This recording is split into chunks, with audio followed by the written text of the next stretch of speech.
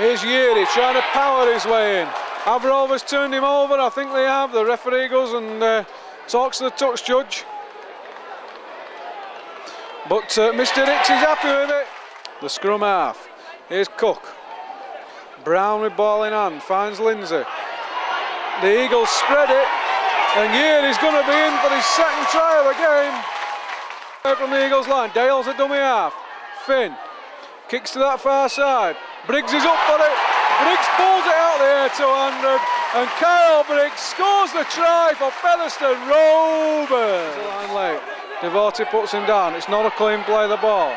Here's Henderson to Rowe, who steps out of a tackle. Finds Haley, who finds Lindsay. Finn.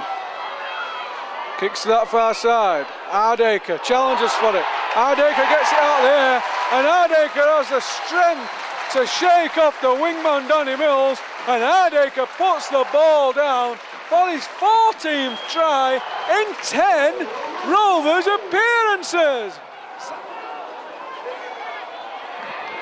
Oh, John Steel come out and he missed his tackle. Ropati steps through, he's got Bergin on his inside. Away And Kain at dummy half. Dickens the first receiver. Takes the ball to the line well and finds Finn. Dale, here's Grayshon. Good tackle.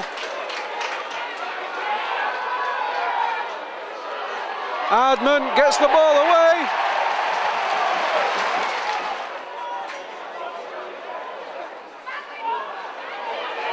The party now. He goes for the corner. He's in at the corner. Spreading it. Spreading it to Yere. Yere steps back inside. Hardaker's after him. Hardman comes across, but Yere rides the tackle. Menzi Yere goes in for his hat trick.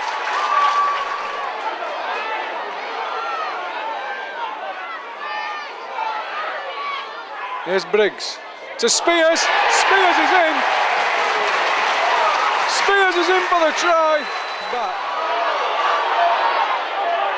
Gets the offload away to Divorty. Nice play. Divorty keeps going forward. Great work from Ross Divorty and Jamie Field to assess the options, not panic, and get the ball away. Here's Kain. Here's Briggs. Here's Hardaker. Hardaker scores. Oh, good long ball. Welham's collected it.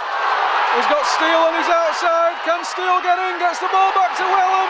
Welham goes in for the try.